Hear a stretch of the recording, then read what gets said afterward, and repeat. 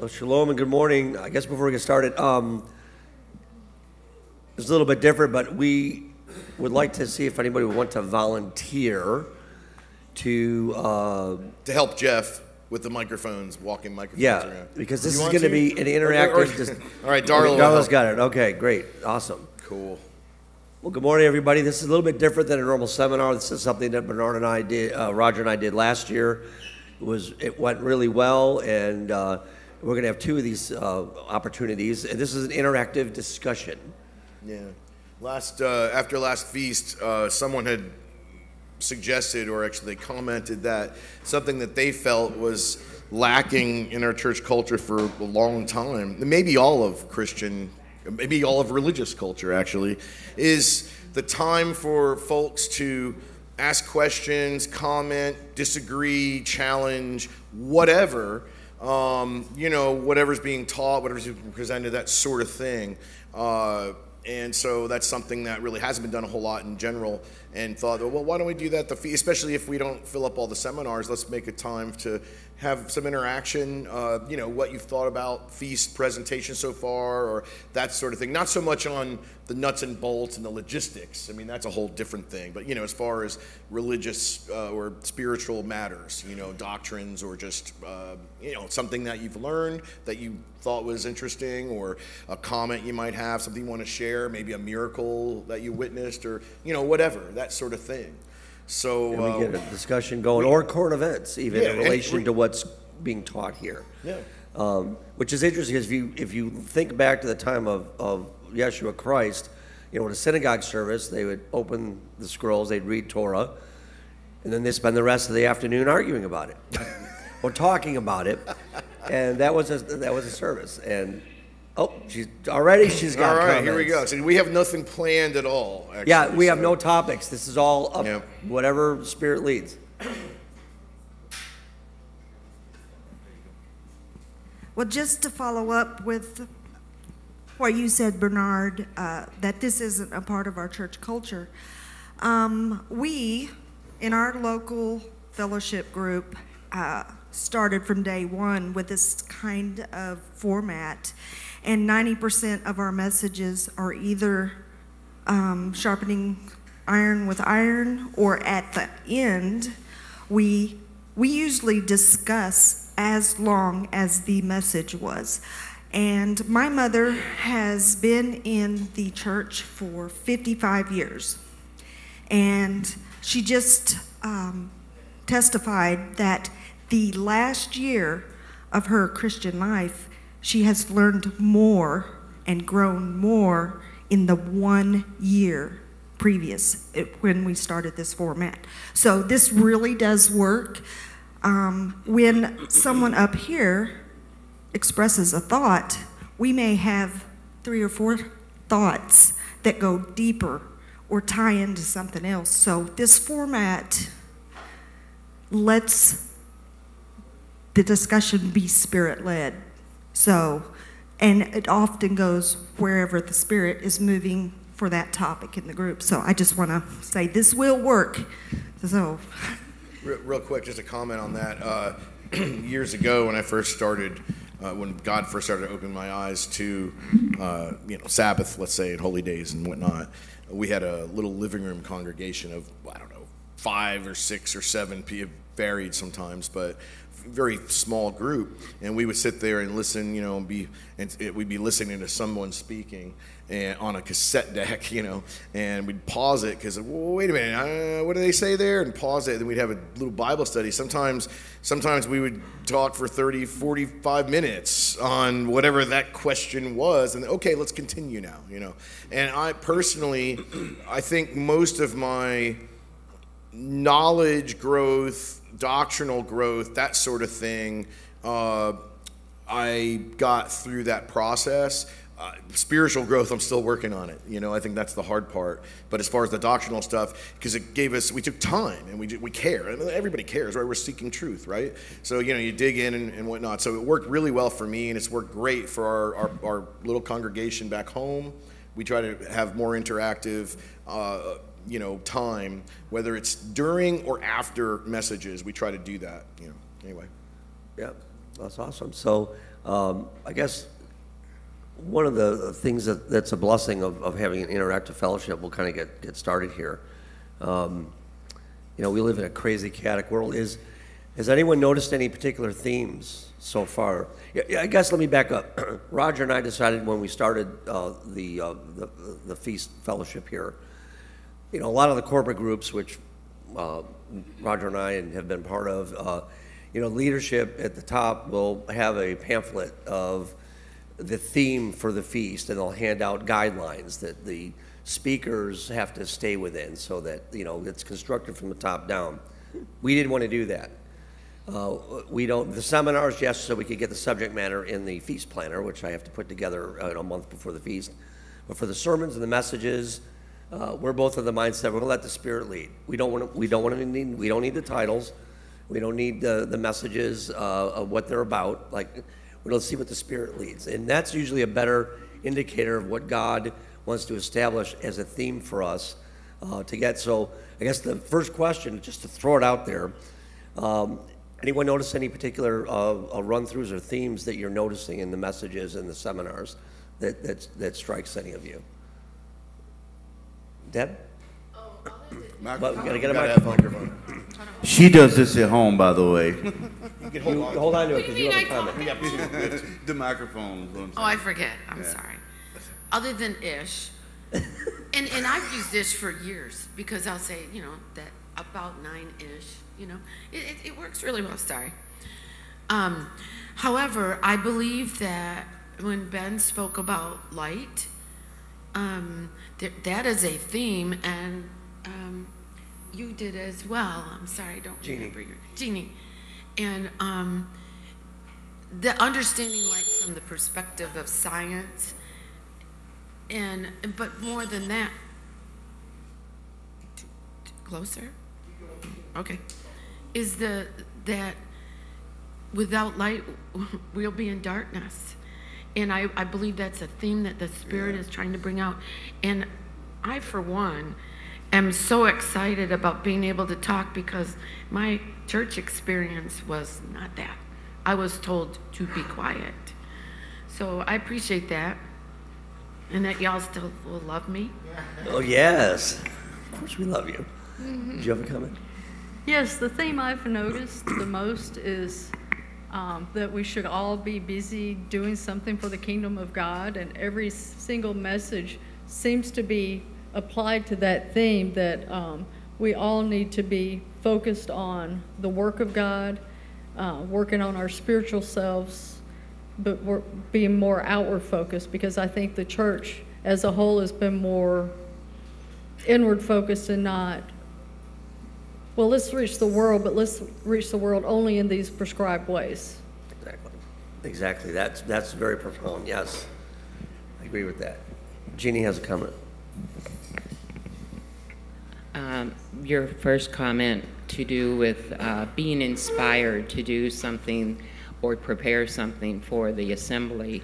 And when I think back, I had a really rough summer because I had said I was going to give my thing on the two sticks, the weathering of the two sticks. And God wouldn't let me do it. I have I'm about three quarters finished with it now that I prepared my first part. But my first part, he kept telling me to go back to the beginning and look at the light. And I really didn't want to do that.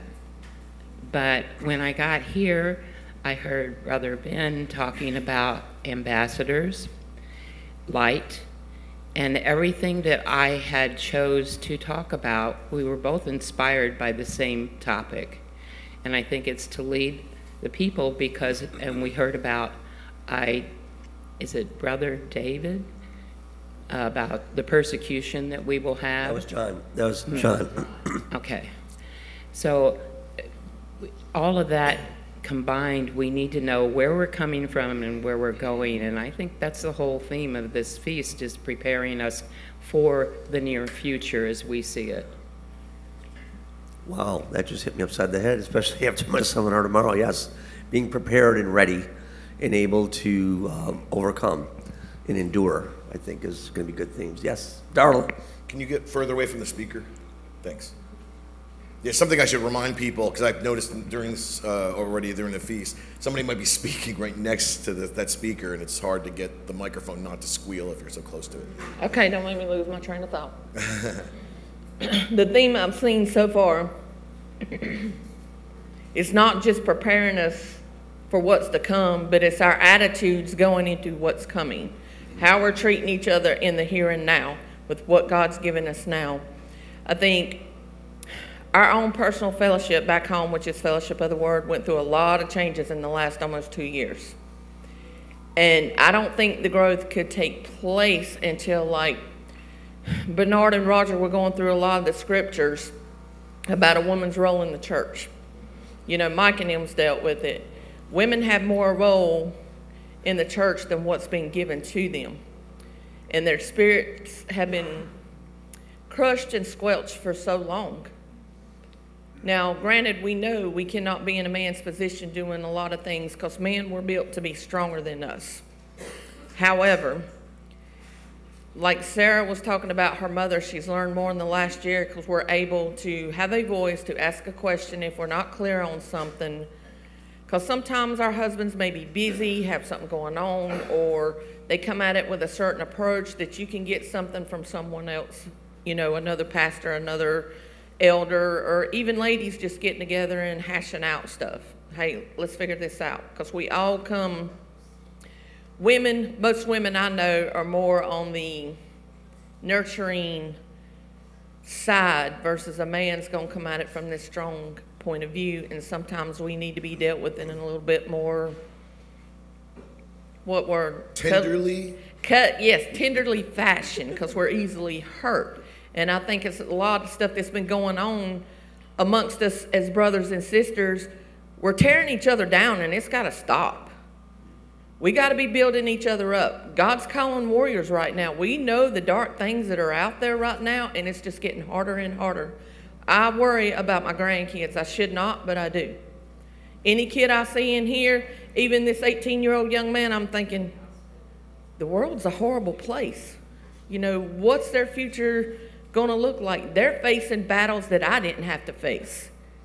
And we got to lift them up and build them up. Like you were talking about, and we spoke about it before earlier in the week, where Moses had his hands up when war was going on. And then his brother Aaron and Hur come up, and when he held his arms up, they kept winning the battle. And that's what I've seen so far is how we speak to each other. And this is a true story. I can't remember, and I meant to look it up because I was going to put it in my scripture reading tomorrow. I can't remember if it was a high school or a college that did this experiment. They had two plants. One they spoke great things to, spoke life into it, and the other they beat it down, was negative and everything. And the one that they spoke negative to for so long, it wilted over and died. We got to speak life into each other. And I love you all, and I'm grateful for everybody here. I can't begin to explain this is my family. I have a biological family, but this is my eternal family. Amen. And I want to see us all there together. So that's the theme I've seen so far. I want to pop on something you said. Someone that talked about. Didn't you mention that in a slide that you were going to pass up on on the, shape of uh, water crystals. The water crystals. You can need a mic. Get a, can you get get Ben a mic? Hand. Just because you in your right mind don't give me. And I gotta get away from the, uh. That's good enough. Right? That's Yeah, Right, right, I just okay. love that it tied into what your seminar was, what she just said about the flower wilting. I just popped in my head. Ben talked about that. We saw Yeah. visuals for that. I left, my wife said I, I left a cliffhanger for those that were at the seminar. So we, we gon' we gon' we've already done the background already. So we know about vibration, we, all- so we're gonna pick it up from where we left off. But that slide, for those of you that didn't see it, it was a slide of, uh, what happens to, uh, molecules of water when you write certain words on it, okay? And, um, and what Darla is mentioning is that this experiment was done by Dr. Mars, Marsu Emoto. It back, goes back 20 years, and it talked about the impact of words basically on reality, okay? And we just think words is words, but words, you know, like I covered in the seminar, is vibration and it is life you know, Christ talks about light and life. That's those two go together. And the uh, the slide said if you put, if you said, "I hate you" on a glass of water, and you put that under a microscope, the molecules become very ugly. And then if you say, "Well, I thank you," or "I love you," or gratitude, it almost looks like a crystal of like diamonds. It's an amazing thing. You, if, so if you haven't seen it, I'll put it, put it back up there on, on Thur- Thursday when we pick it back up. But it's a really a good visual of, of the impact of what we say and how we treat each other. And that doesn't mean we don't have to be speaking the truth, but the Bible says we can speak it in love. Yeah. Yeah. Interestingly, um, I want to touch on this because I've been talking about that for so long. You said it was 20 years ago that that study was done with the words approximately? Okay, well, I was a kid. I don't know exactly how old I was, but I would say maybe approaching my teens or so. And my mom told me about a study or an article probably that uh, she read back then. So this is like, I don't know, in the maybe let's say 70s sometime, maybe 80 ish. Um, there was somebody else, another Japanese uh, scientist, who instead of writing uh, on the water, what he did is either is, is speak. Uh, either prayers, beautiful things on one, on, on you know one glass of water, and then negativity and hate on the other. And so, uh, and the same thing happened. This is that much longer ago. So this has been corroborated over and over again in different ways. And what just dawned on me is the possibility that it might, it might not be the word itself that's written, but the spirit in which it is written. Because you know, what if it was in a different language? The water doesn't know, but the spirit of what the person's writing, they know, and they know what they're writing, whatever that word is. But it's definitely something that I've carried with me all my life. I have a quick question on, um, did that study then prove, say, the glass is if yourself? We see how it affects the other person, but is that also for internal thought Yes. about ourselves? Yes. I mean, did that study address that specifically? Because I, I've seen proof of that as well.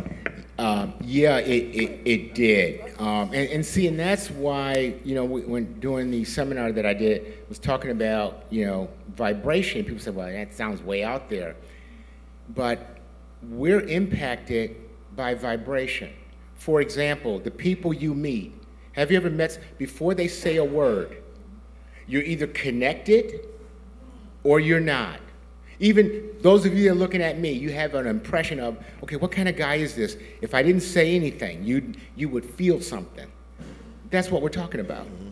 We we impact each other in ways we don't understand, but the more we understand it, and it's good to see the images, it's good to see the physicality of it. But when Bar- Bernard said about it's the spirit behind it, that's exactly right. You know, but because physically, uh, you know, too many of us, myself included, we're locked into the five senses. We really only believe what we see, and we and we have to move beyond depending on just what we see. So when Bernard said there's a spirit behind it, absolutely. And Yes. as far as, Yes. real quick, as far as affecting ourselves, I, I th- yeah, I, th- I don't know what order exactly. I think Deanna was first, but uh, we'll figure it out. Um, we're 80% water, approximately. Okay? That's extremely important to remember. All the stuff about full moons and all that stuff, and it's pretty much a known fact. I don't, maybe, I don't know if it can be proven so much, but we all know it's true because we, you know, if we know anybody that works in hospitals and stuff, we know this that there's something going on. Well, what, what does it? It makes sense, right? If the moon, the gravitational forces dealing on the Earth, the tidal flow and everything else, it affects people because we're 80% water, also just like the Earth. I don't know who is next. Well, you know, I have to be careful about im- being impactful on Ben, because you saw what happens when I impact Ben. He'll, he'll want to throttle me, right, Ben? Go ahead. I just wanted to mention that there is a documentary out there on YouTube. It's either provided by History Channel or the uh, Discovery Channel, but you could just type in in your search water, and they actually do the whole experiment and show you how the water changes. You see it right before your eyes. And it is just amazing. I seen it about a year ago. And so when I saw your pictures up there on the screen, I mm-hmm. thought, wow, this is great. Mm-hmm. But it is so moving to see that because there's so many things in God's element that we don't know. Yeah. We don't know half of what He does, not even a umpteenth yeah. part of it. So it's just wonderful. So if you guys want to watch it, just type in water. I can't remember the name of it, but it's the whole thing about water. Um, I've, I've heard uh, several interviews on Christian radio or Christian television talking about, uh, or with interviewing people that had been homosexual in the past that had come out and become Christian. And they talked about they could be within three feet of a person without ever speaking to them and know if they were gay or not. It's just that close. Caroline was next, hang on.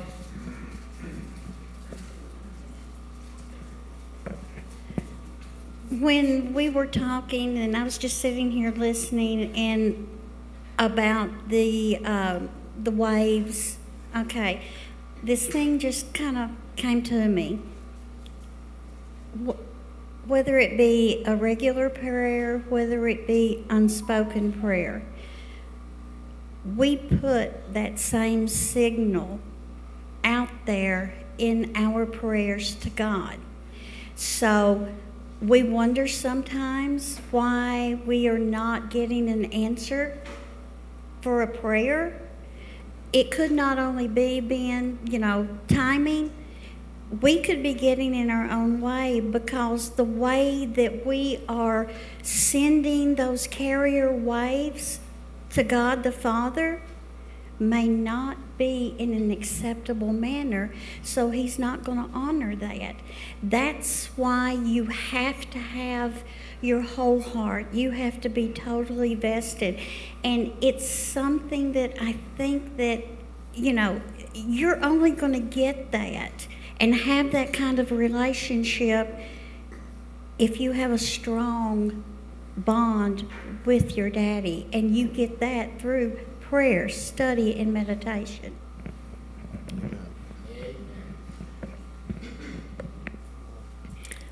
Darla? I think sometimes, uh, at least for me, you know, I second guess those feelings. Um, I learned a lesson. Um, I used to meet with a support group uh, for grief, a grief support group I had met, and we continued meeting after that. One of the ladies got involved with a man who was becoming a, changing to a woman, and we had lunch one day, and I was introduced to this person as a female, and everything in me said, that is a female. I mean, that is a male.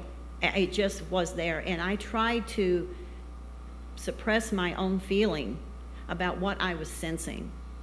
And I'm like, I found, of course, it found that it, he was a male. And I'm like, so I learned a lesson there not to, you know, we can't go on all of our impressions without thought.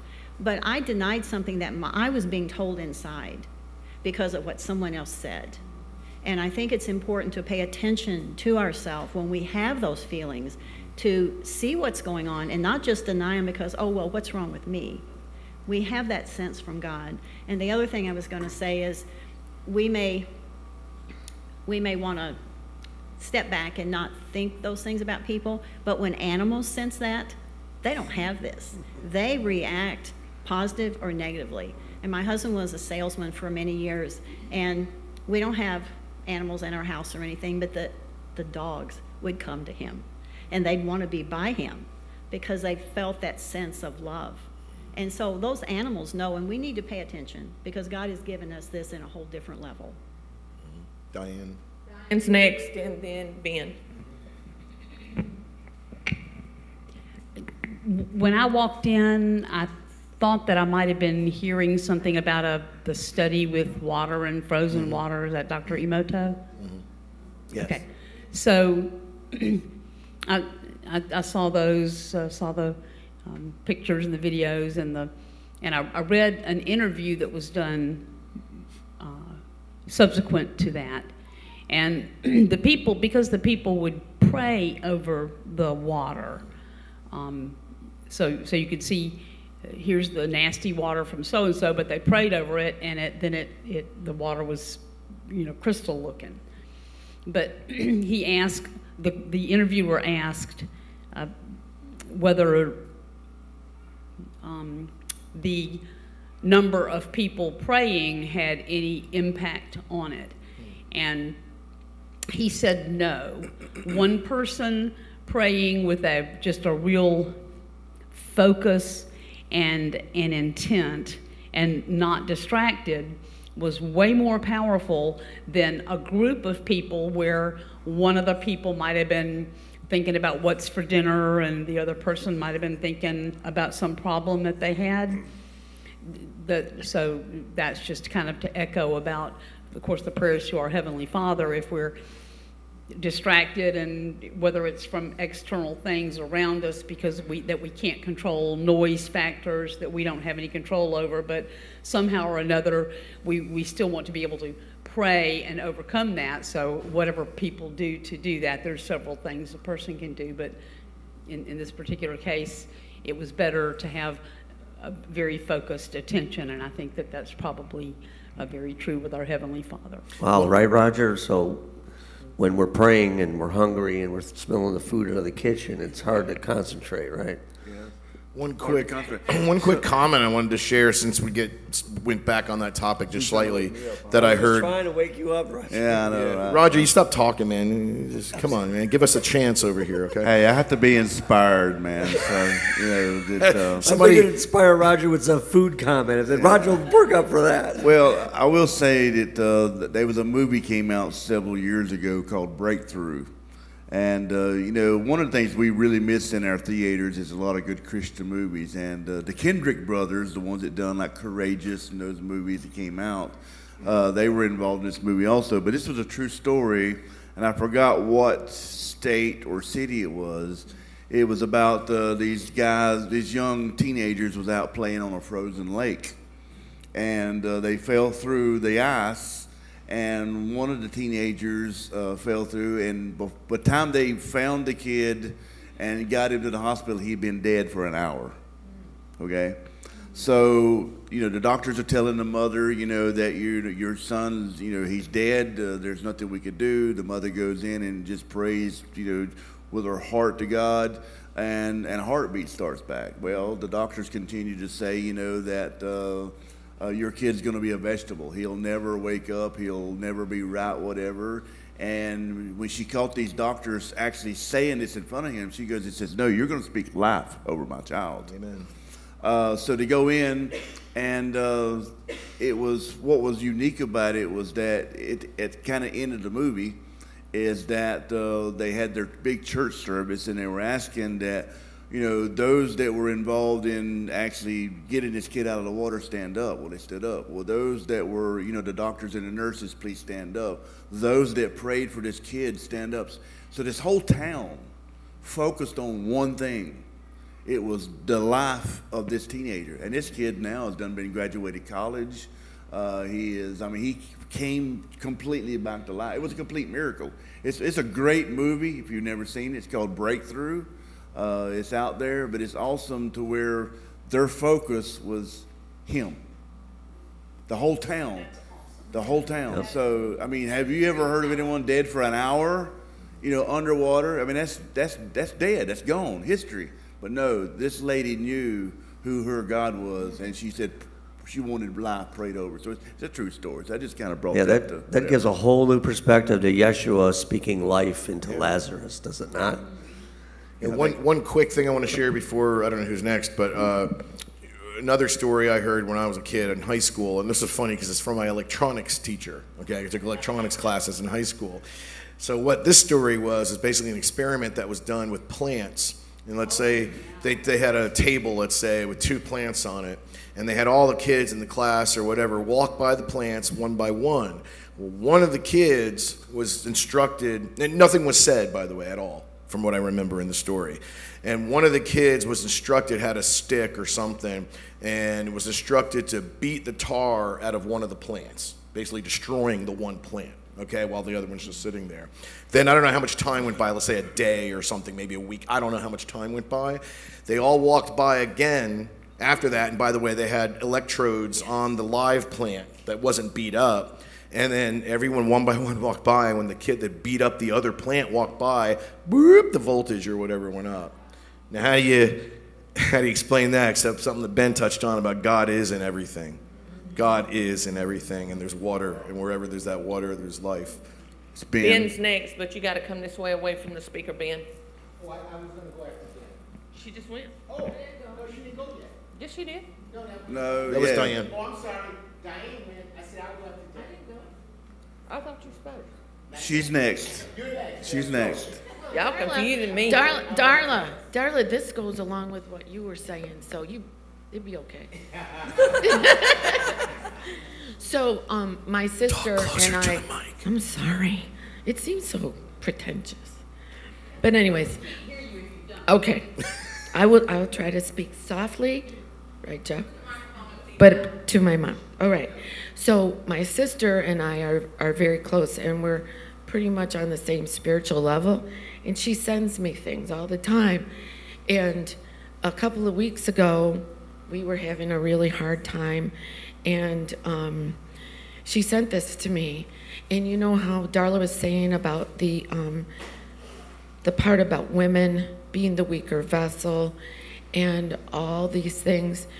Well, this woman on here, and it's a it's a little clip. I don't know if we could play it because it'll do a much better job of explaining it than me. I mean, no, no, just the just the sound. Mike, just the sound. But anyways, it's for it's on the verse of Genesis 2:18 when Father says that there was no um, helpmate found suitable. And what that word helpmate means. And what it means is it's the same description that Father uses to describe him with Israel. Hmm. That there is a part of the woman that the man doesn't have. That she brings that to the table. And it's beautiful. And we we say submissive, but we have a place at the table. And, and, and I think in the Christian circles, they tend to say, oh, just be submissive. But it's a more beautiful thing that we come alongside and we complement and we bring things that they don't have, that y'all don't have. So you don't want me to play it. Yeah, no, those are the what? uh, What is? I don't know. Well, it's just a little, it's a little video, how long is it? a couple seconds. Okay. Is that okay? Put your microphone up to it. I gotta put her, what, what, what, what, wait, wait. See, I'm so technically challenged here. Hold on, let me get it started. And I have to turn the sound on. Yes. See, I can't get, how do I turn Okay. We'll get back to it Get then. back to it. That's okay. I think Ben's next, and then and then Diane will be next. Thank you. Um Yeah, I just wanted to go back to uh, what Caroline was talking about, about, you know, a lot of times when we don't get answers to prayer, and we got to get to know our Father more and more. And I hesitated to hit that like I want to, okay? Because um, you, anytime you're presenting something new, you want to be able to do it in such a way that people can continue to receive it, right? But we read a verse in James 1 6, for those of you that were there, and it says that, you know, a double minded man, w- let that man do not, do not expect anything. Right. Okay. Now, that's pretty rough, right? Okay. But see, this is where, when you're about truth, there's a time we set feelings aside. Men or women, set it aside. What does the verse say? When you doubt, you should not expect anything. Okay, so now, what's the, what's the solution? What Caroline said. If you want your prayers answered, then you got to work at getting rid of the doubt. That also means you got to work at getting close to God. That also means you got to work at understanding the Word at a much deeper level Bernard said spiritual. I think the Bible says, Jesus said, My words are spirit and they are life. Too many Christians, it's up here, it's not here.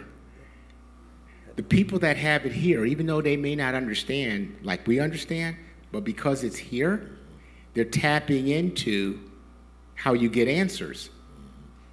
God answers prayer whether you keep the Sabbath or not. Right? Mm-hmm. Because he did say those that seek that seek him will find.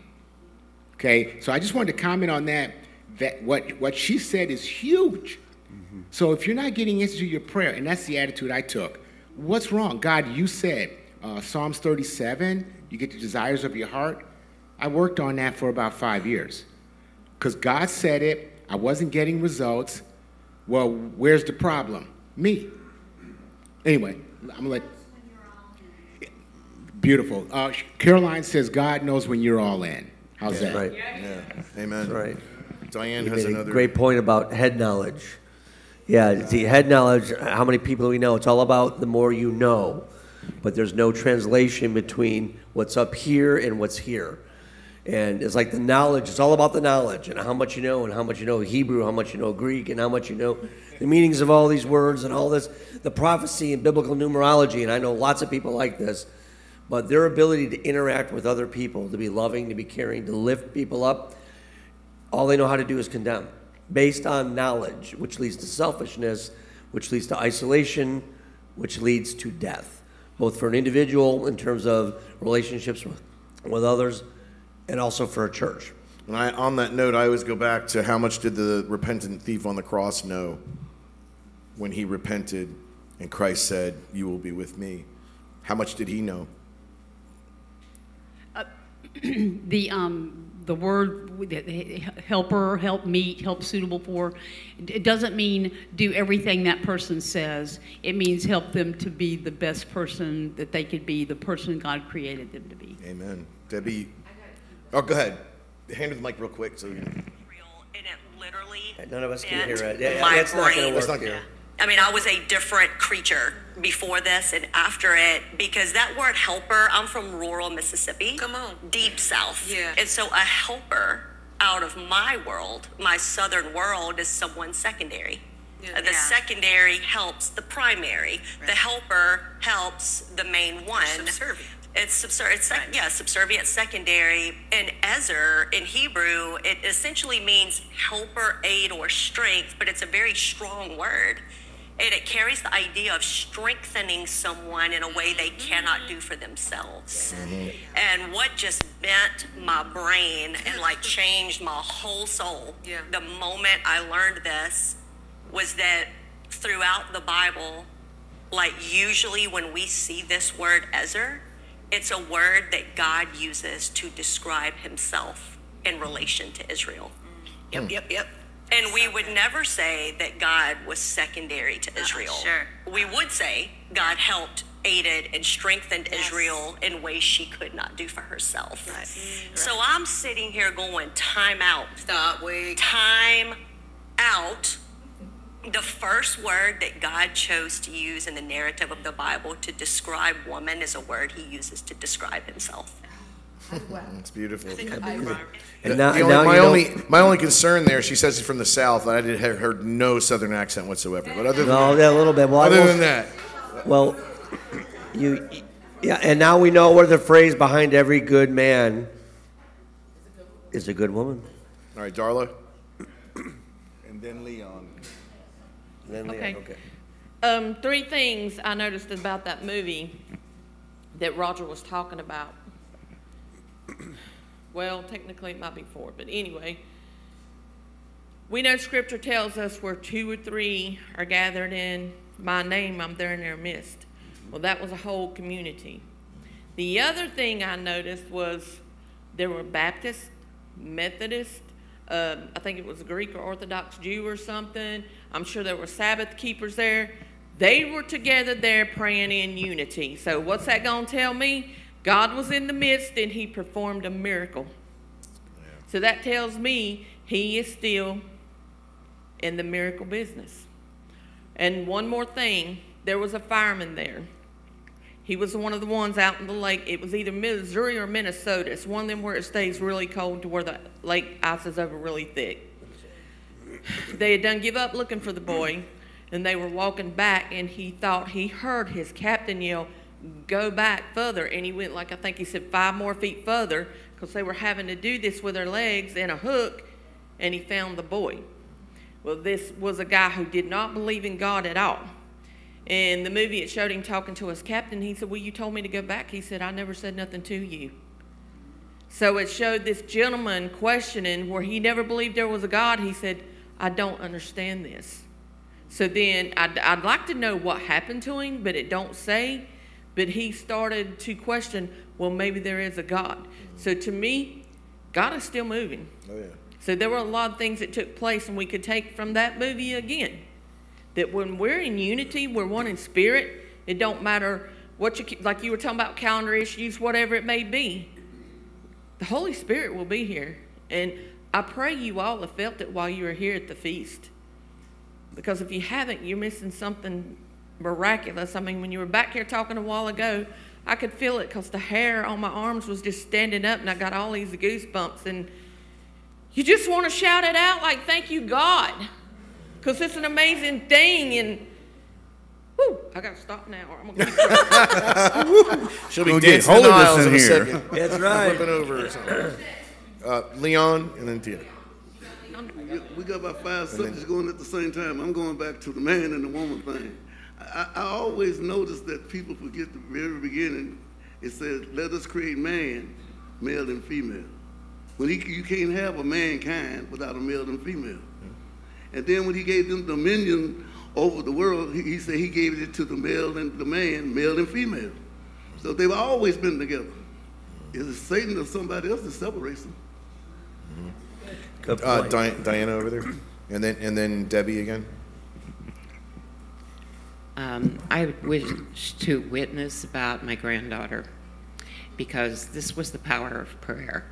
She was run over by a riding lawnmower in 2015. She was 30 pounds and she was trapped underneath the mower for over 10 minutes.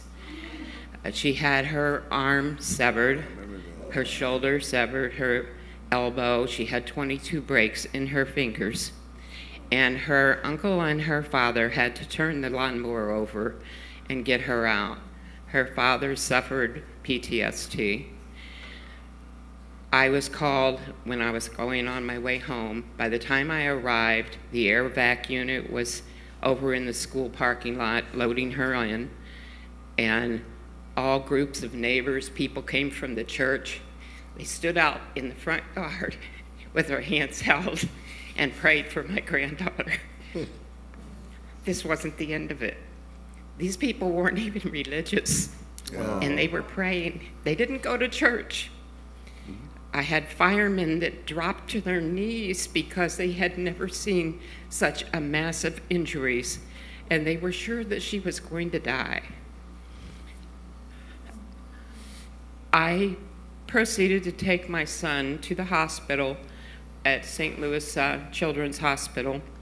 And in the event, as I was doing so, I was calling people that I knew from the church. And one of the gentlemen is a nurse. He put it out on Facebook that he needed prayers. I had over, I think he told me 3,000 prayers coming through. And on my way to the hospital, I prayed, and this is my first experience at praying and having an answer that was immediate. It wasn't an surety to me what I wanted because as I started to pray, I said, Oh, please let her live. And then I thought to myself, if she lives, she's got a skull concussion, she's got a severed, it's right down to her, whatever artery that is up there in the top of your head. It was in fractions of an inch. And it had sliced all the way across the top here at that soft spot. So I stopped praying that, and then I said, Well, maybe you could save her arm. You know, it was kind of like a, I was trying to prescribe what I wanted to happen. And I realized I was helpless with it. And so I said, You know, you know best. You know whether you want to heal her. You know whether she's healable. If I pray that she lives and she's a vegetable, I'll regret that the rest of my life. So I didn't pray that. I just prayed that he knew best for Naomi and he would do that for her. Today, she's 15 years old. She's a top star track at her school, has made record breaking time. She's an honor student in every class. Today, she's very kind to people, she's very organized. And if people start whining about being in a little bit of pain or they've got a headache or whatever, and they'll say to her, I did this to myself. I did this one day. I was in the car with her and I said, You just don't know what it's like to have an abscessed tooth because she was carrying on and cracking up and so forth. And I said, Could you please be quiet? You don't know the pain of that. She says, No, I only know the pain of having my arm cut off. And, and, and she just went right on. And I said, Oh, uh, yeah, you're right. And it struck me, you know, that I cannot pity myself as much as I try to. But uh, I have to account for everything. There were so many people praying, and we received gifts from around the country. I mean, she got a blanket from some Baptist church in Pennsylvania. She got um, different little books and so forth to look at. In the hospital, every personnel knew her. And she would go in for surgery. She had 22 surgeries. And she was in there for like two, three weeks but every time they would come up, she said, Yep, God saved me. And it, it was just so matter of fact with her. So she's decided she wants to be, first it was going to be a nurse. And she said, I don't know if I can handle a nurse because I, I really don't know if, whether I want to see people in pain. She said, but I'm going to be an anesthesiologist. So I believe in the power of prayer. And I have seen the hugest miracle I think I will ever see in my life. And she is so grateful. She's not here, and she floats in and out of, of my belief, but she always comes back to it. And she always says, you know, you'll be proud of me. All of my friends are Christians. Oh, so wow. That's great. That was awesome. Thank you for sharing that.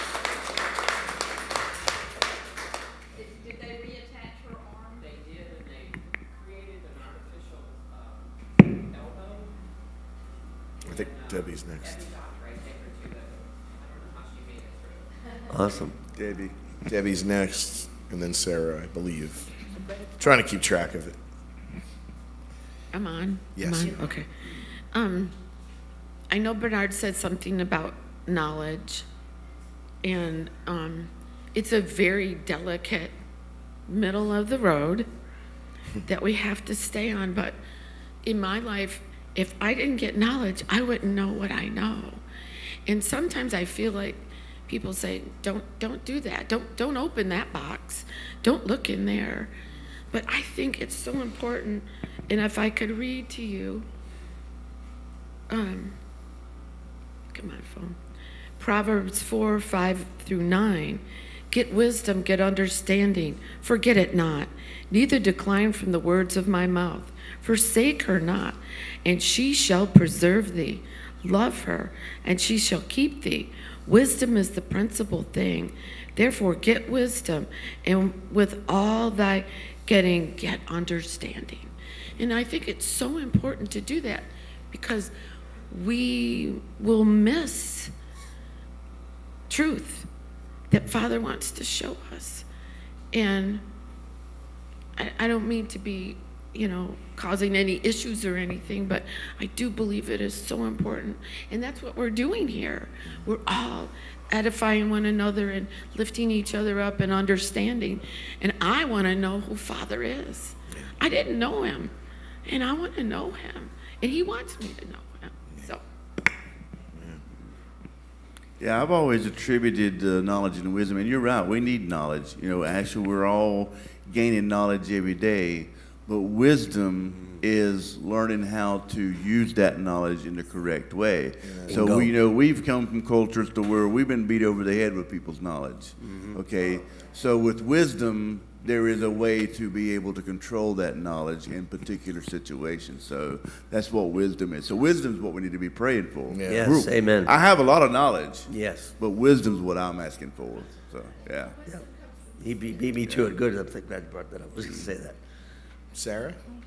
Oh, um, a follow-up on uh, a miracle that, okay, some of you in this room already know about the miracle that took place, what year was it? Five years ago? Um, and how the power of prayer, even the doctors said so, the power of prayer was, was an intervening force with my father. He had a brain bleed and a stroke, brain bleed and a stroke. And the doctors attending to him, no, it was 3%. He had a 3% chance of surviving. 3%. Um, this incident happened at church. He was leading songs. And thankfully, uh, Leanne, she's not here, her husband was there. And Leanne is a nurse, and, um, you know, he's a doctor. And immediately they started attending to him. Everyone in the room started praying, and we thought, wait, Winter Family Weekend is That's we going at. on. We texted and say immediate need for prayers with a very brief summary. Everyone at, I was told that everyone at Winter 500, Family. over 500 Over 500, and some of us reached out to other congregations, I mean, in the moment. So almost instantly, we began praying. He, he should have been in a coma with what happened to him. He should have instantly been in a coma. He never lost consciousness. He spoke through the entire incident. When we went into the emergency room, we had to fight with the doctors because they were ready to send him home. Okay, it wasn't until that point they sit in another specialist because I mean he was talking and he was speaking and he was, you know, everything. Okay, so Patrick came in. No, no, Patrick was consulted and it's like, no, this is not normal for him. He, he was slurring words and, and things like that. He said, You need to take another look. And it was at that point the doctors pulled Mama and me and Rita out and said 3% chance. But we have to act. All right, she's, she may have. No, it wasn't three percent. They said, this does not happen. It wasn't a three percent. It's like, no, this does never happen. He never comes, if, if they come in with what he had, they're already in a coma. And if you go into a coma, you do not come out of the coma. That's what it was. It wasn't three percent. It's like, so it was a, more of a zero percent. All right, so they said, I need, I need you to let us say it's okay to prepare him for emergency surgery. We already have doctors scrubbing down this urgently now. As soon as you say yes, we're wheeling him out of here and putting him in surgery. Okay, everyone in our local congregation, which is really small, um, I would say 90% of our congregation came to the hospital. And we sat and we prayed in the hospital. And um, he went to recovery, woke up, and he spoke. Clearly. Yes. They had to, yes. yeah. Had a- had a yes. massive- massive brain and. Um, so this is a living miracle. Yeah, yeah, Gary's a walking, living miracle. And he, he's giving a sermon tomorrow, right? Tomorrow, Gary's giving the sermon. Uh, no, it's Ben. Melba. It's Ben, Jenny, then Melba. No, I'm glad, I'm glad Roger's paying attention. Yeah. Because I wasn't. And then Melville Gordon. I I mean Howard. I'm sorry. No. Yeah, we, we got to give Roger some grace. Uh, wow, I don't even know if I can follow that. Um, I wanted to go back to something that uh, Leon had spoken about in terms of man and woman. Uh, and he and I were speaking before services. Um, he, I think Leon said he's, this is his 50th feast. This is my 40th feast. And it's, uh, it's unfortunate that we in the church are still struggling with the man woman role issue. Real talk, right? You know the world is the world's dealing with that issue. Okay? We should have already figured it out here in the church so we can be a model for out there. With with everything that's been said, I think if we remain clear on what the roles really are from the Bible, not how it was abused, not how it was mishandled, women didn't do what they were supposed to do, men didn't do what they were supposed to do. We already know that, and that's why we have that out there in the world. Right now, young people, marriage rates are down 65%. Okay? And I'll tell you what the young men are saying. The young men that people think young men today don't want to be married. That's not true. That's not true.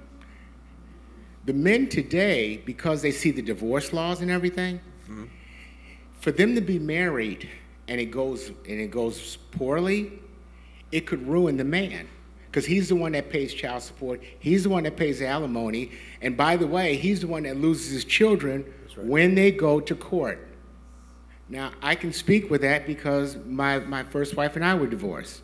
Okay, so I know what happens, and it took me two years, and I ended up being a, you know, I mean, I raised my boys, single dad. Okay, I had them for about ten years. All right, so the reason why young men today really don't want to be married, it's not worth it to them. Right. And it's not worth it to them because the women are being boss chicks in charge mm-hmm. and they're saying, I don't want to argue with you. You know what? That's okay. I'll go fishing and I'll go, okay? And the women are frustrated because they want families and babies. You don't get what you want if we're out of order. All right? Young ladies need to be like Sarah, and they need to be like Hannah, and they need to be like Ruth. And young men need to be like Boaz, and they need to be like David, right? Okay, that's the problem. So, as we're talking about the roles, let's make sure that we understand first and foremost, okay, what the order is. And then we can work out the adjustments of if it's an abuse, we'll address it, man or woman. Because right now, the world right now, if the men are not engaged in the process, there's not going to be families, there's not going to be babies. Men will opt out.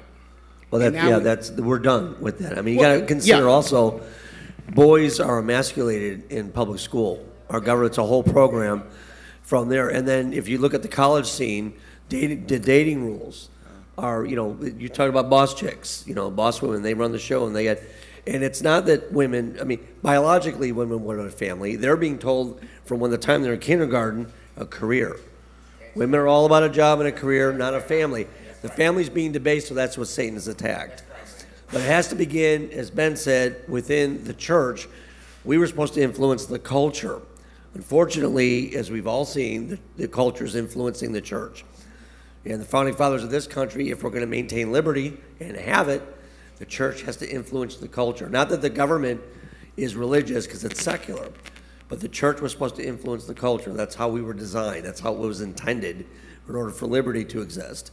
And what we have is chaos. Everything's out of order. And if you go to what uh, Jeannie's seminar was, it's about Yahweh Elohim putting everything back into order. And uh, th- this feast is representing an opportunity where Christ is coming back to do what? Put everything back in order. So, Who's next? Melba. Well, I have another miracle story. okay, amen. My grandson Joe was born about 30, little over 32 years. He was born with infection in his lungs. They flew him to St. Louis Children's. And after they got there, they tried to figure out what was wrong, and I guess they finally got a clue. Anyway, they put him on a heart lung bypass machine that they call ECMO. And the way it was, it was he, he was on a platform. They had him tied down and they had him on drugs to keep him so he wouldn't move. And my daughter called me and she said, Mom, I won't feel like I've done everything I could do for him unless I get him anointed. She says, Can you set that up for me? And so I called my minister, and he called ministers in St. Louis, and they got a hold of a minister named Jim Lee. And he came to the hospital.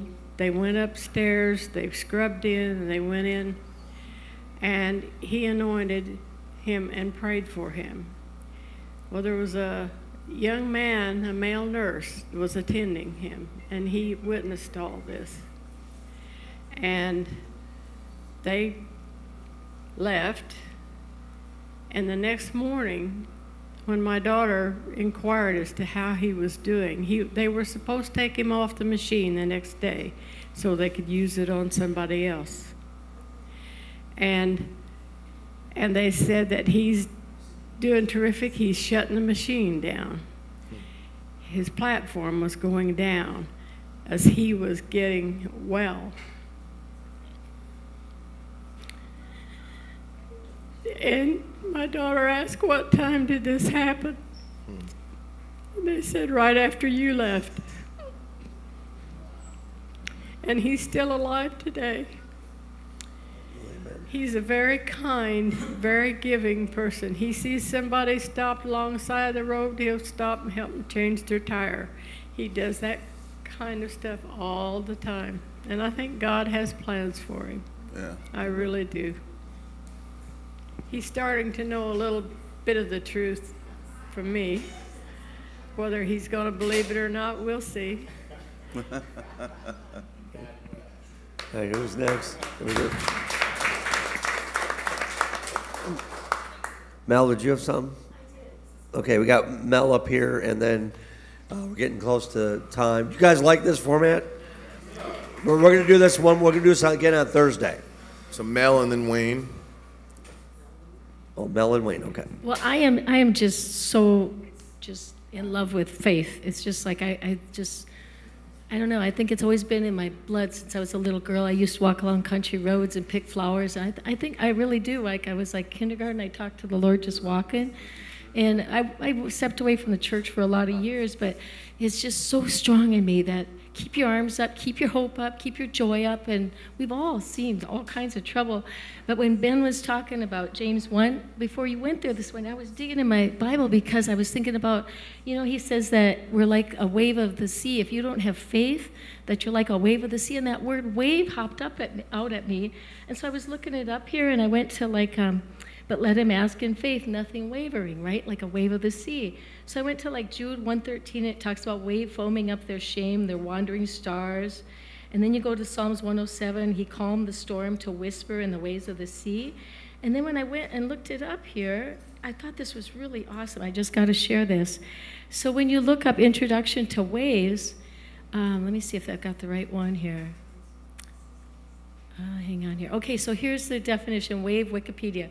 In physics, mathematics, engineering, and related fields, a wave is a propagating dynamic disturbance change from equilibrium of one or more quantities. Waves can be periodic, in which case those quantities oscillate repeatedly about an equilibrium uh, of, of some other frequency. It just so blows me away that here we're talking about vibrations and frequencies. And Yahweh, when he was speaking, or Yeshua, when he was when he was speaking for that through the Holy Spirit, that the analogy of the waves, there's just not a word that he misses. It just blows you away. There you've got it right there, the waves and and how we and I've had a time like I think I bet we all have. I remember a really, really strong, hard time in my life. Um, and I mean, like I had a, a son-in-law whose mom had been murdered. My ex, I said, how many times does a guy go through midlife crisis? And I had a girl come live with us that they said Mel would be good for her. Well, I needed like five of me, and I only had one of me. And I would pray on the floor, and I'd get up, and I'd go five feet, and I'd get back down on my knees. I would just be crying again. But God just sustained me, and it was just like, get your hands up. You can do this. And, and it was just, God is so faithful. And when He says to ask in faith, I'm believing more and more and more, and I think we all are, that it begins with faith and it ends with faith. It is so pivotal. Yeah. Wayne? We get Wayne. Right here. That's why I like to always add in my prayers every so often, help me in my unbelief. Yeah. So we don't doubt. So I'm on a new journey. Um, mother grew up on a farm. Father had a real rough life. Uh, father, alcoholic, died early, stepped in front of a bus when he was drunk. Uh, his mother died in his arms in a, in a flea bag hotel when he was 14. So, but he always wanted to do his best, and they raised us in, you know, normal church, I'll call it, Sunday church. And so that's what I knew my whole life. And I was kind of a rebellious young man and went in and out of good times, bad times. Debbie and I got married really young, and we've had our struggles in our marriage, but we've been able to hold it together here. And so I was always in Methodist church, Protestant church, uh, Presbyterian church. Did a stint in Bible study fellowship for about nine years. That was really good for my personal growth. During I've always had real high stress jobs. So here I am retired, and I go, "What's a feast?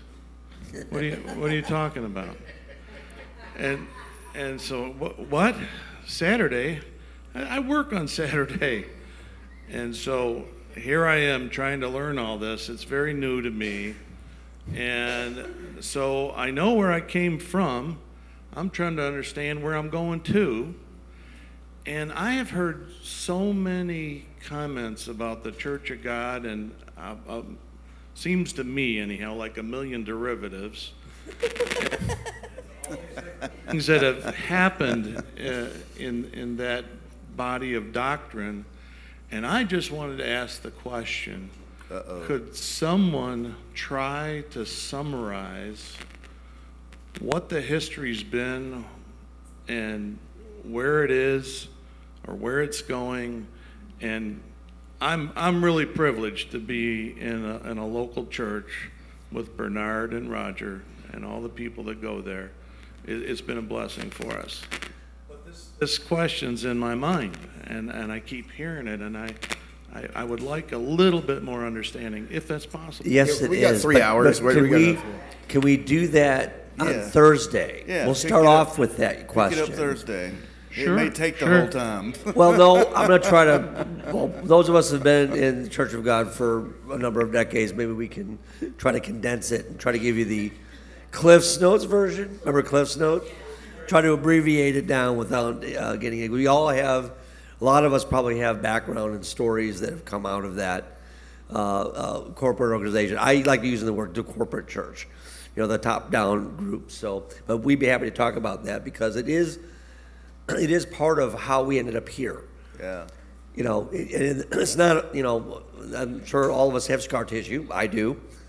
But God uses that in order to get us where He wants us. And so that's actually, all things work together for good, Romans 8 28, right?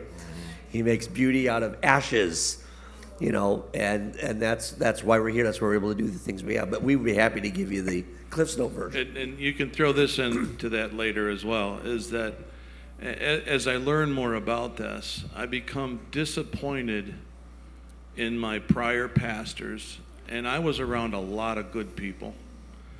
And why are these things hidden? And I, I assume it's the pressure of doctrine itself and what their responsibilities are to get a paycheck. But uh, that's also in my mind. Well, once I want to mention something on that is that the uh, um, I lost my train of thought for a second. Uh, couple things. Uh, Jeannie, I'm looking forward to Jeannie's thing on the two sticks, and here's the reason why. Something that we've been trying to remind people: Christ is coming back for his body, right? For all the all the all the believers, the believers, right? And and we, we as humans make divisions. We set up walls. We set up walls between one another. And just these stories of uh, you know people coming together to pray. I think somebody mentioned some atheists were even praying because they were moved so much by a horrible situation. You know, and, and when you were moved by these situations, I think that's sometimes God God uses those to grab somebody's heart you know? But something i think we need to remember is, is that too as we talk about we i mean i i have a passion for truth i'm a, as passionate for truth. No one's more passionate for truth than i am. I mean i'm equal to anybody passionate for truth. My motto has been uh, ever since i had email my, my signature has always said uh, truth seeker truth seeder. Because i feel like well if i'm given the opportunity to understand some truth that it's my my duty to share that truth and i'm talking about whatever it is whether it's something particularly scriptural something i mike and i kind of hit it off many years ago because we were both focusing on uh, politics and when i say politics most people have a very negative thing in their mind. Do you know that we're all politicians? Do you know that we're all ambassadors for the government of god? Do you know that we that's our job? You know and so when i talk about politics i talk about what should we it's the study of government is what politics actually means. It's a science of the study of government. So what people call politics out in the world is a whole different thing. But again one thing as we're as our pursuit one thing i've learned at least something i've come to over the past just five years maybe and, and I've hint, I've been hinted at it like longer than that, maybe 15, 20 years ago, was is, is this idea that okay, yes, I'm passionate for the truth. I want the truth, nothing but the truth. But I've learned something. There's something more important than truth, and that's love. If you have all the truth in the world, first of all, we all see in parts. I don't care how much studying anybody does, doesn't bother me because you're only going to know part anyway, no matter how much you study. But what what's I think is more important is than than understanding all truths is is is you know the difference between knowledge and wisdom as we touched on before. It's the love that we should be seeking. How much do we hear about people talking about the gifts of the spirit and all this? compared to how much do we hear people talk about the fruit of the spirit and, and you know we say well i want to do this i want to do this and i was the same way i want to be a healer i said at some point in my life a long time ago you know but I wasn't focused on what I was supposed to be focused on, which is the fruit of the Spirit. And that's the important part, and that's the love walk. And that's the part that I think people, you know, I could come up and learn all this stuff and impress somebody, but if I'm not walking a love walk, that's the light. That's the light that we're supposed to be out there doing, right? And what is our commission? I don't care, roles are fine. I see most of the roles having to do it with women. We've talked a lot about men and women. I think most of the roles that we talk about, really, we're talking about husband and wife. As far as the role of every single follower of Christ, what are we supposed to be doing? But preaching the gospel of the risen Christ in the coming kingdom. I'm talking about everybody's supposed to be doing this. This is the, what I see as the important part. So when we get hung up on, well, you know, what what's going on and this, that, and the other thing and all this, well, let's let's put what's most important on top, and that's growing, growing closer to God, and and showing that, showing that love, growing in that love. And to me, that's the most important thing. Even though I haven't lost my passion for truth, I'm going to continue seeking truth, but I, I want to try to put it in perspective, I guess. Is, is well, so you don't misunderstand me. I'm, I'm not looking for ammunition. and, and, and I, I've had the privilege of watching, I've had the privilege of watching you show that love. So I, I understand exactly what you're saying. I'm just trying to get a little bit more background because I, somebody asked me, I'd want to explain it, and I can't. Okay. So that, that's really my, Yeah, sure. Well, my concern. Not not for ammo. Yeah, no, not to- for ammo, to but it's hit always good to know. And that's been a problem. where we problem. come from. And not just, wait, hold on, not just in Sabbatarian groups, I'm talking everywhere. Yeah, right, right. I mean, I was told the long time ago, as I was studying and seeking truth in the Bible and whatnot, I was told by somebody in, a, I don't know, whether Baptist, Methodist, whatever they were, they're like, oh, well, you can't be a Christian unless you believe God is a Trinity. And that was what I was specifically told by somebody, and that got me into a study on that, you know. But we do the same thing, and it, we do the same thing on, on any issue almost. Every I mean, issue. it happens. Every issue. And that's a problem. That's a serious problem. That's right. Did Okay. Darla have Yeah, something? Darla had her hand up, yeah. Hey, this is not to cause controversy. This is just bringing another side to the story. What Ben was talking about, I agree with a lot of it because I have a 30 something year old son who is divorced, has a seven year old and a four year old. She's done had DSS out on her twice. She works a job as a nurse in a hospital. Her, um, I don't know what you call him because she's got four different baby daddies. Okay? And I don't mean that to put her down because we all make mistakes, but it's how she lies to the government. She gets all this benefits, she gets all this free crap. We've turned her in, he's turned her in, there's nothing he can do. You go eat lunch with his son, who's seven years old, and he begs me to take him home to his daddy. And there's nothing I can do because the court tells him, Jamie, there's nothing you can do. He pays out all this money in child support. She's got the boyfriend slash fiance being called daddy by the four year old, and it's causing confusion because Jamie's having to fight this losing battle saying, No, I'm your daddy, blah, blah, blah, blah, blah, and so and so and so. I agree with the whole thing, what he's saying about men. But I will tell you from a female's perspective of what I experienced, because Jamie is not biologically Roger's. He adopted him later on down the road. The first probably three and a half to almost four years, it was me and him. Women become that domineering, whatever you, however you want to word it. I forgot how Ben worded it.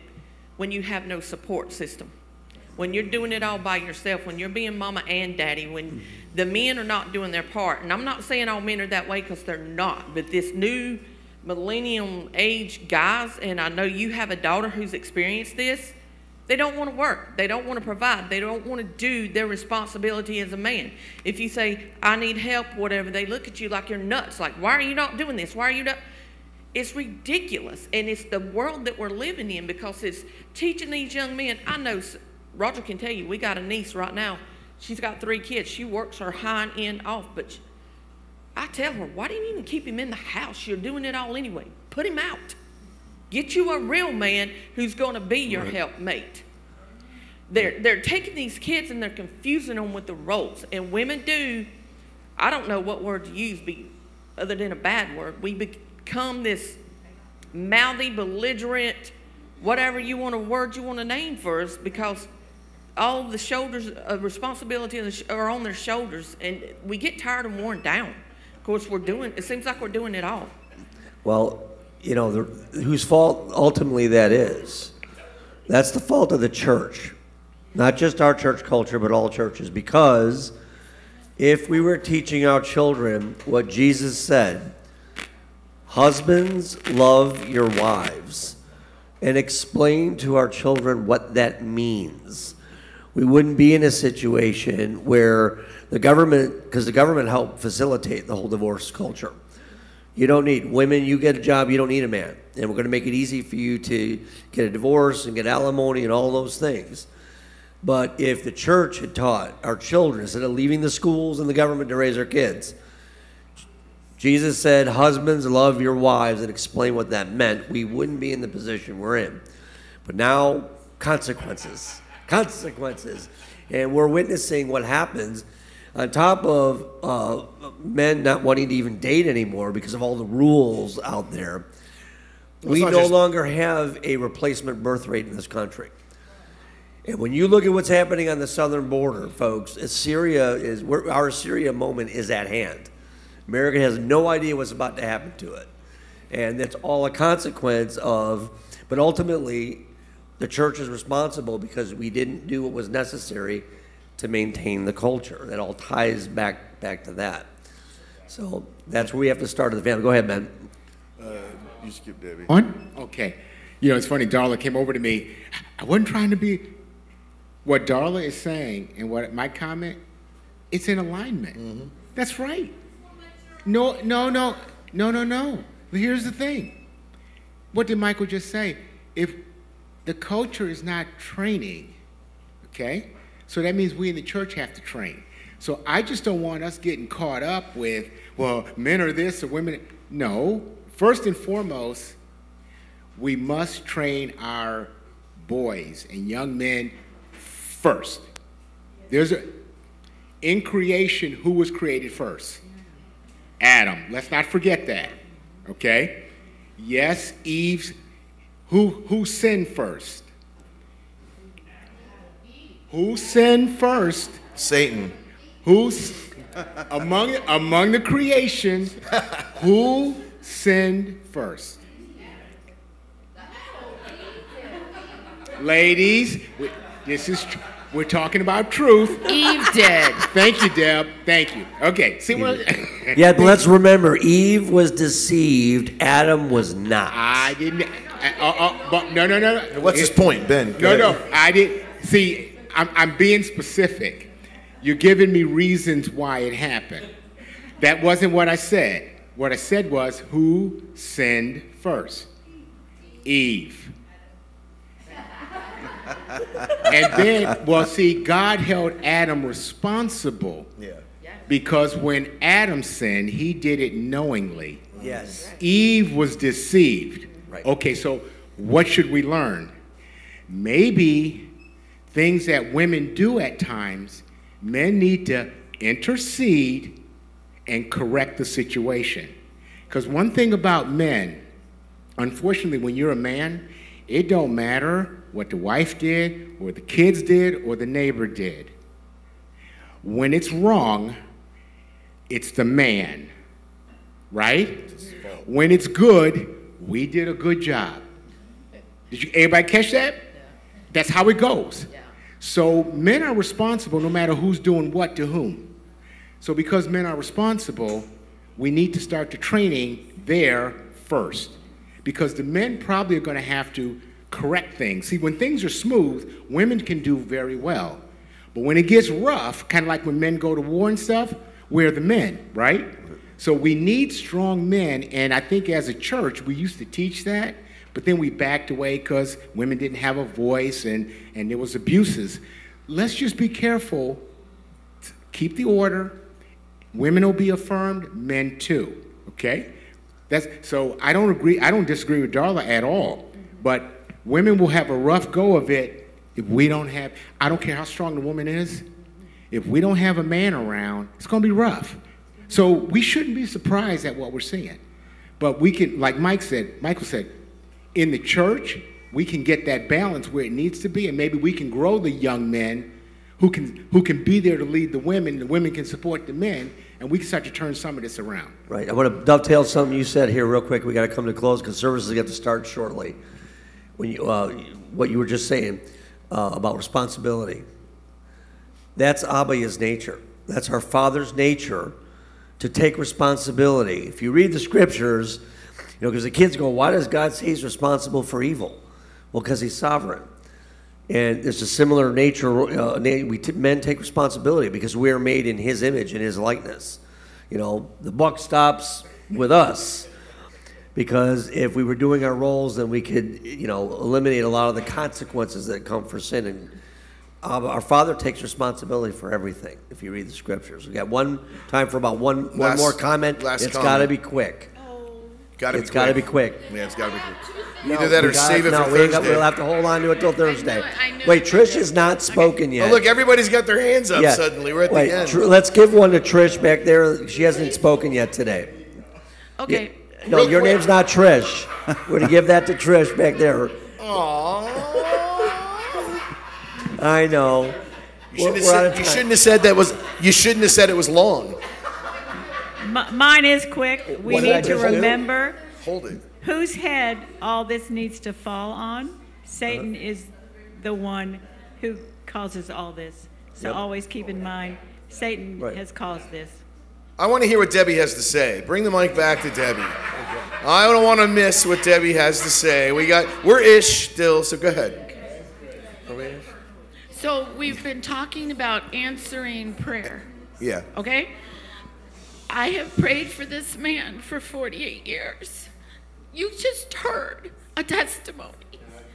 And it's an answer, and I want to praise the Father in heaven. for Amen. this All the man praise, okay. What he has done in his life. And you do not know the hours that I have spent on my knees. And this is so, I'm just so excited. It's just so exciting. So thank you. Well, can we tell you how excited we are to have you both here All right, with and then, us? and then Jeannie, I think, is last, right? Jeannie had her hand up, and that's the last one. We got to get started here. Yeah. Um, yes, exactly. Okay, I The only thing I wanted to say is that while my program was on order, and we are to teach our children well, and we should not ignore the female any more than we do the male. And we can't put that responsibility on a gender. Right. Because if we're not teaching our children correctly, it doesn't matter whether they're male or female. They are not going to be able to go out into the world. I've had both of my kids that I've raised, that my grandkids, and I've taught them the law. I've taught them what Yahweh expects. And my granddaughter, she goes out into public school and she manages to keep herself clean. She manages to let these boys know, I'm not like that. I'm not going to do that. That's not right. I want an education. I want to be somebody. It's just as important to teach a woman from the very time she's born, a baby, what they're supposed to do and what the law expects of them. Because they will not be any healthier. And if we have all great men and we still have screwed up women that don't know anything, we're still going to get the same thing. So I don't think we can concentrate on gender as much as we need to concentrate on human beings. Amen. Amen. Hey, everybody, I'm sure there, there's lots of thoughts that have come to mind as we were going through this. So write down any thoughts or questions or comments or anything between now and Thursday, and let's let's talk about it again. I know we're going to start out with Wayne's. We're going to start out with Wayne, but uh, obviously you guys like this, right? It's kind of an interesting having this discussion. Thank you so much, everybody. Thank you for contributing to.